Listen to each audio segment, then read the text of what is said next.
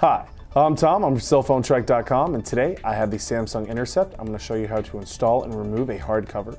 Hardcover adds a extra layer of protection to protect your phone and gives it a stylish color or design up to you. So let's get into it. As you can tell, we do have a large array of different colors. You know, the green and the blue and the pink and the red and the black, all very nice. Here's the Samsung Intercept, 3.2 inch screen, full QWERTY slide out keyboard, etc. And since it already comes in a pink, also does come in a gray, uh, we'll go ahead and just put, um, we'll do a little blue and pink, we'll match that up. So, pretty easy, you just go ahead and make sure you line it up correctly. It's more square here and more rounded at the bottom, so you grab the square and the rounds and etc. And you push it around, you're gonna hear that snap. Hopefully you guys heard that snap. And if you can look right here, there's little snap tabs and they kind of hook just up underneath um, in this tiny little space in between the slider keyboards.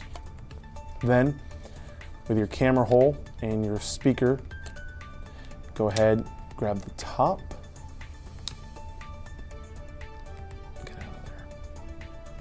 Snaps that on, and there you go. You still have full range and movability. Doesn't really interfere, interfere with anything. Uh, you can still access all your keys, your uh, charging port, your camera's still open, your 3.5 millimeter headset jack is still accessible, your SIM. Your micro SD card slot is still available, your volume rocker bar, and your dedicated camera key, all still available. To take it off, it's fairly simple. You easiest way that I've found is you open it up and you grab these two tabs right here and you just try to push them off where they're hooked onto. And once they're off, you just put a little pressure underneath the case and it pops right off. And the top, you do the same thing, just kind of slide that open, grab the tops here, pop that off, and then there you go. Phone is free. You can still, you can change the color to green, pink, or black. They also do come in designs. You can look online, find the designs on there.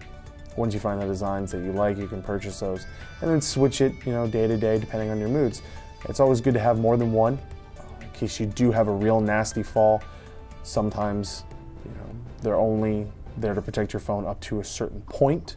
A certain point cases do fail, so it's always good to have maybe a backup, you know, get a nice pretty design, and then a backup case, maybe a plain black.